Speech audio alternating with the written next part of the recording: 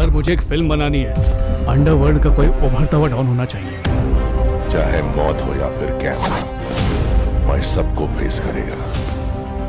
जितना सोचा था उससे ज़्यादा खुखार है ज़्यादा ताकतवर है ज़्यादा खतरनाक है। मेरी पिक्चर के हीरो होंगे तो हीरोइन भी चाहिए ना? कपिल देव के लिए विकेट लेना बप्पी के लिए हिट गाना देना और मेरे लिए हड्डियाँ तोड़ना। सेम टू सेम मुझ पे शर्त लगाएगा तो जीतेगा। मुझसे शर्त लगाएगा तो मरेगा।